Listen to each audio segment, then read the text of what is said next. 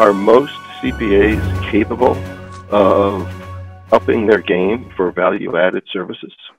No, I, I don't think that they have focused on what they've been focusing on is in the technology space, you know, using the tools in a way that uh, assumes everything will continue on the way it is. And if businesses are going to change domestically, the processes are going to change internationally.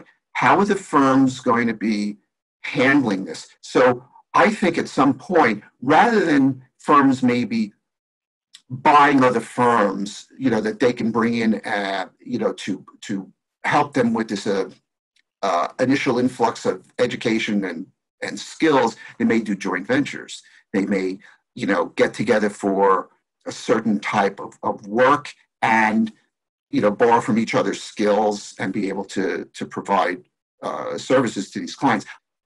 MBAs are going to be uh, the big competitors to, to CPAs. So the CPA firms, I think, going forward, are along with technology, are going to start. This is my own personal opinion. Are going to start to look more like McKinsey's and Bain's, and maybe a mixture of little Silicon Valley thrown in. So that may change the whole model and uh, tray of of uh, offerings that are provided.